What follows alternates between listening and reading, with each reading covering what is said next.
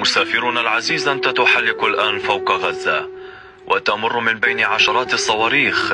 قد تكون آخر رحلة جوية لك لكن ما يخفف عنا بأننا لو أصبنا بصاروخ المقاومة فهذا عزنا وشرفنا ولو أصبنا بصاروخ المحتل فنحن شهداء. أخشى أن أقول لك صباح الخير ونحن نحلق فوق القطاع. وتنظر من نافذة الطائرة وترى كل هذا الدمار ورائحة الفراق التي تكاد تدخل الطائرة. لذلك اخلعنا عليك ففي هذا الجو رائحة دماء الشهداء تفوح. في الزاوية المقبلة هناك طفلة كانت تلهو فخطفتها قذيفة محتل أنهت الحلم.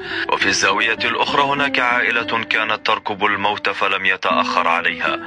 احذر. لربما يرتطم ركام إحدى المنازل بقاع الطائرة. عزيزي المسافر أهلا بك فوق الأرض التي يولد بها شهيد فيغسله شهيد ويصلي به شهيد.